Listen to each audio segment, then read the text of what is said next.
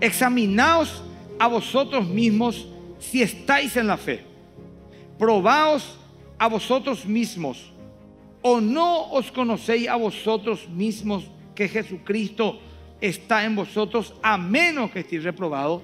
El apóstol Pablo apela a algo sumamente práctico y que para mí es la clave de todo. Apela al corazón de la persona. Analizate a vos mismo. Examinate. ¿Es, ¿Es, cierto esto o no? Vos le puedes engañar, como dice un dicho, a muchos poco tiempo, a pocos mucho tiempo, pero no a todos todo el tiempo. Vos puedes engañarle a mucha gente, pero el peor de los engaños a uno mismo. Porque el que se engaña a sí mismo es el único que pierde porque nunca va a cambiar. Claro, en cuestiones morales a veces es fácil de decir nomás, mira, no puedo hacer esto, aquello y ya se sabe. Pero en cuestiones de carácter, el orgullo, la vanidad, la soberbia. Es tremendo, hermano. Vivimos en un tiempo donde tenemos tantos, tantos filtros para llegar a la verdad por el relativismo que es difícil confrontarle a la gente porque nos echa a darse cuenta, a ver, la sensualidad,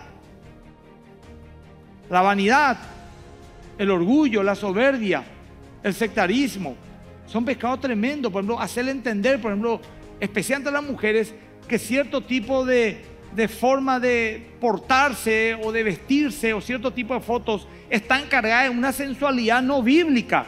No le entra bala. A hombres, por ejemplo, decirles, sos violento en tu manera de, de, comportarte o de leer o de actuar, perdón, de escribir en las famosas redes sociales. No, no, no, está indignado, esto no puede ser así, justifica. Y es un problema, pero es un pecado. Y vos puedes engañarte si querés, pero Dios no le engañamos a nadie. O los matrimonios, los problemas que tenemos, le digo a la mujer, son muy, está muy victimizada, querida. Son muy, le hostigas mucho a tu marido. O varón, son muy agresivos como te comunicar con tu mujer. La Biblia dice que es vaso más frágil en el sentido de que ella tiene que ser tratada con más delicadeza, la mujer es más emocional. No hay caso, no le entra bala.